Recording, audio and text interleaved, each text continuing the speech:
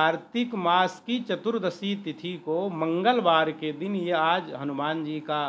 जो जन्म दिवस पड़ रहा है, इनको लड्डू ज़रूर चढ़ाना चाहिए और विशेष पूजन के साथ इनको सिंदूर आदि चढ़ाकर और जिनके ऊपर शनि का, राहु का प्रता, प्रकोप रहता है,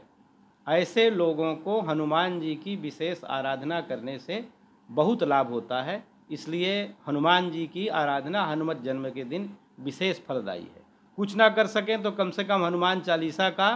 पाठ जाके उनका दर्शन करके इतने मात्र से ही बहुत कुछ लाभ हो सकता है। इसलिए कि ये बड़े ही कृपालु होते हैं, जितने भी देवी देवताओं के स्वरूप हैं, कोई कुछ भी करता है, उसको तत्काल वो उतने से ही प्रसन्न हो जाते हैं।